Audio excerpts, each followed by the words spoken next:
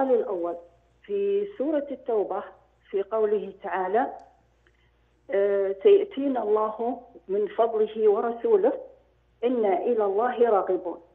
نعم. هناك قول مفاده أنه إذا تحولت هذه الآية إلى دعاء يحدث منها كلمة رسوله باعتبار, باعتبار أن الرسول قد توفي صلى الله عليه وسلم. سؤالي هو هل نحن مخولون كبشر أن نحذف من هذه من الآيات شيء وإن تحولت إلى دعاء. الشيء الثاني أن فضل النبي صلى الله عليه وسلم هل هو فضل مادي فقط أم إنه فضل معنوي باعتبار نشر الإسلام وما تبع ذلك من دخول البشرية فيه؟ السؤال الثاني في قوله تعالى في سورة يوسف حتى إذا استيأس الرسل وظنوا أنهم كذبوا كذبوا أتاهم نصرنا. ظنوا أنهم قد كذبوا. قد كذبوا أتاهم نصرنا. إيه تعلم فضيلتكم أنه زيادة في المعنى هي زيادة في الم... زيادة في المبنى هي زيادة في المعنى. نعم نعم. فاستيأس هو بلغ ما... قمة اليأس. واضح واضح السؤال. أعطيني الثالث أعطيني طيب السؤال اعطينا الثالث. يلا. بس لماذا قال كذبوا ولم يقل كذبوا؟ نعم. طيب السؤال الثالث. ال- ال- السؤال الثالث. في قوله تعالى في سورة هود. نعم. ويا قوم اعملوا على مكانتكم إني عامل سوف تعلمون من من نعم. يأتيه عذاب يخزيه ومن هو كاذب؟ طيب. وارتقبوا إني طيب. معكم رقيب. شكرا أم عبد الله لماذا. ب- لماذا لم يقل آه، لماذا قال رقيب ولم يقل مرتقب اسم الفاعل؟ طيب. شكرا. شكرا أم عبد الله بالنسبة للسؤال الأول كثر السؤال عنه من قديم.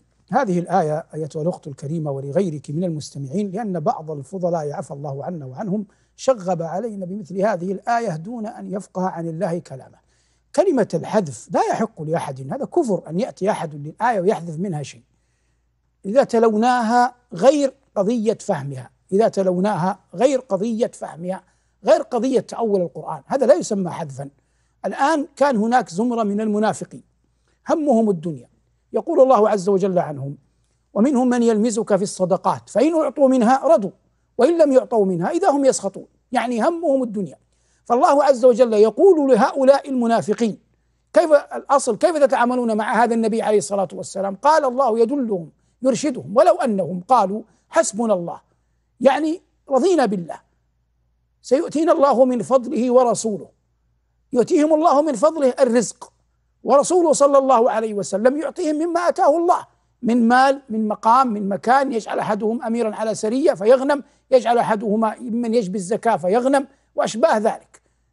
أنا إلى الله راغبون. الآن مات النبي صلى الله عليه وسلم. فهل الآن يقال سيؤتينا الرسول صلى الله عليه وسلم من فضله؟ هذه مثلها ومثل ولو أنهم ظلموا أنفسهم جاءوك فاستغفروا الله واستغفر لهم الرسول. لوجدوا الله توابا رحيما. هل الآن نقول لي لي- ليقول أحد عاقل يا رسول الله استغفر لي. وهو يعلم أنه صلى الله عليه وسلم يحيا حياة برزخية الله أعلم بها. مثلها مثلها هذه مثلها تماما. فمن قال بأن بأنني أو غيري قلنا بحذف القرآن هذا أصلا يعني يعني إما غلط في الفهم وإما غل في القلب. نجم عنه هذا القول. لا يقول أحد بحذف شيء من القرآن ولا يملك أحد أن يحذف شيء من شيئا من القرآن. لكن يا أختي الكريمة فرق ما بين التلاوة وما بين فهم وما بين فهم القرآن. هذا السؤال الأول. السؤال آه الثاني الله عز وجل قال حتى إذا استيأس الرسل وظنوا أنهم قد كذبوا جاءهم نصرنا فنجي من نشاء.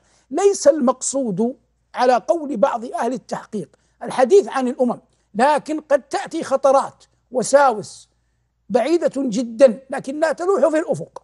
على أن الرسول يخاف أن يكون وقع منه شيء لم يأتي بسببه نصر الله. وقد وعد بالنصر. هذا المعنى وقد مال إليه بن سعد رحمة الله عليه في تفسيره. الحالة الثالثة قال الله عز وجل كما ذكرت وارتقبوا إني معكم رقيب. رقيب على وزن فعيل صيغة مبالغة وهي أعلى وأعلى شد بناء من قوله راقب الذي هو اسم فاعل والعلم عند الله.